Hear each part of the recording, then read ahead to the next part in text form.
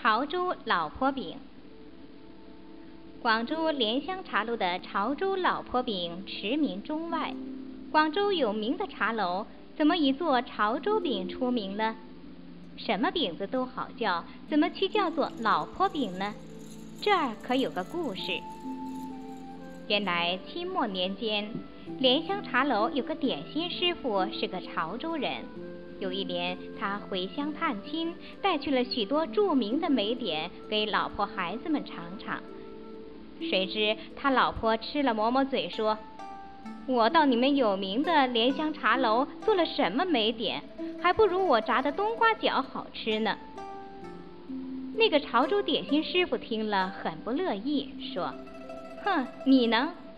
那就做出来让我品一品。”于是他老婆就熬了一锅冬瓜，熬得飞花浪滚，再加上白糖，撒进一些面粉，熬到半干不湿的，清甜嫩滑的，用来做馅儿，再用面粉料包裹，放在油锅里一炸，皮儿酥馅儿滑，香甜可口。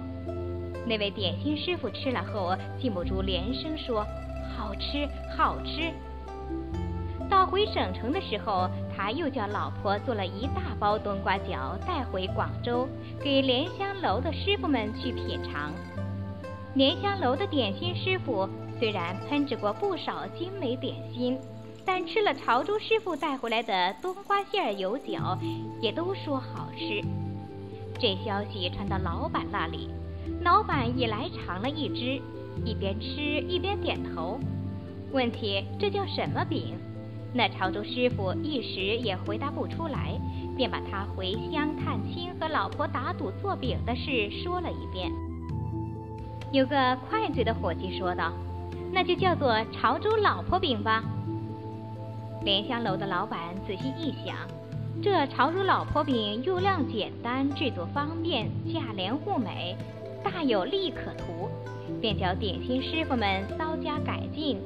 不用油锅炸，而用烘炉烤，外形也做成圆的，在表面再少上一层鸭蛋清，还给它起了个雅号，叫做冬蓉酥，一时成为莲香楼的独家生意，直到现在还享有声誉。不过人们都不喜欢叫它冬蓉酥，爱叫它土里土气的潮州老婆饼。